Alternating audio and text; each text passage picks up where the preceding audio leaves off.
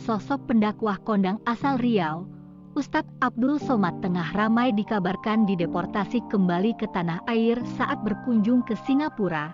Kabar tersebut berawal dari unggahan UAS melalui akun Instagram pribadinya yang menggambarkan pengalaman tidak mengenakannya di Singapura.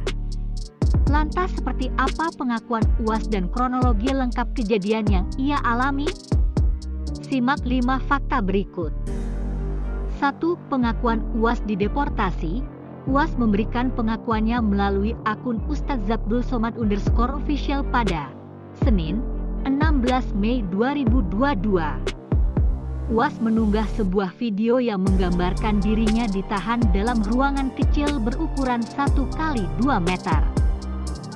2. Sahabat UAS membagikan kronologi pengalaman UAS. Sontak, unggahan tersebut menuai simpati para sahabat UAS Salah satunya adalah Muhammad Hanafi. Sahabat UAS tersebut membagikan kronologi pendeportasian sosok pendakwah tersebut melalui Facebook pada Selasa, 17 Mei 2022. Ia membeberkan bahwa UAS sempat ditarik petugas setibanya di Pelabuhan Tanah Merah dan harus berpisah dengan istrinya. Padahal, Hilmi juga menjelaskan kalau UAS sudah memenuhi persyaratan lengkap untuk berkunjung.